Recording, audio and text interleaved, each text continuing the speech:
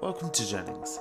Today we're going to be looking at the Ford C-Max 1litre EcoBoost 125 titanium 5-door.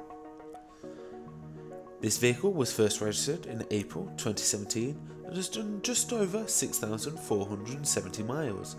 It's a 1 litre petrol engine with a manual transmission.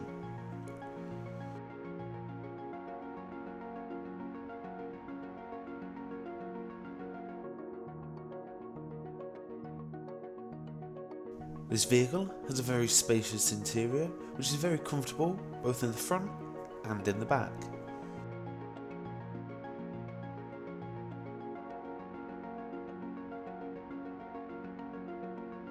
There's a very large boot on this vehicle, but if you do need that extra room you can fold the back seats down. Front and rear parking sensors are also a handy addition for tight situations. This vehicle does have a built-in sync navigation system which is very easy to set up and use. It also has Bluetooth and USB connectivity so you can hook your phone up to the car. If you'd like any more information or would like to book a test drive, please call 0333 414 9750.